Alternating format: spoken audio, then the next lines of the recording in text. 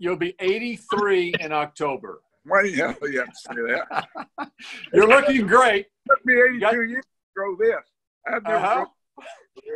And, uh, I told someone said, uh, "Why are you doing that?" And I said, "Well, you got they, I'm hibernating. I'm I'm trying to stay healthy. I have, I've had four, three, three tests so far. I'm negative in all three. Had one the other day.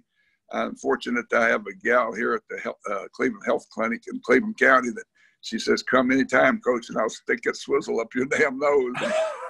it's not painful. It's just it's a, uh, it's not a good sensation. It's it, it's uh, it's terrible for 15 seconds, but you can handle it. It's no pain. And uh, uh, I just let this beard go, and I said that you know what? Uh, when are you gonna cut it? Someone asked me, and I said, well, when I get a damn cure for this crap, I guess that's what I'm gonna cut it.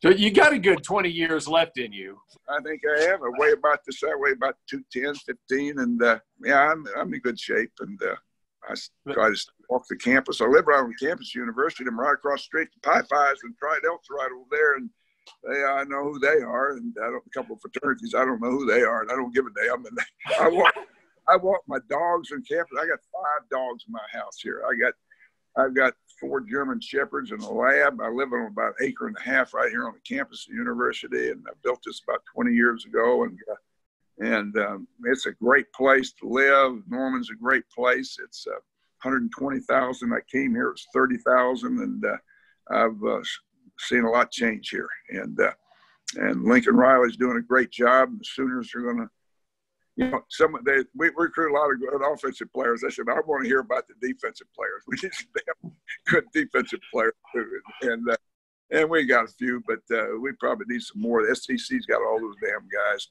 They got all those big butted guys down there that make a difference.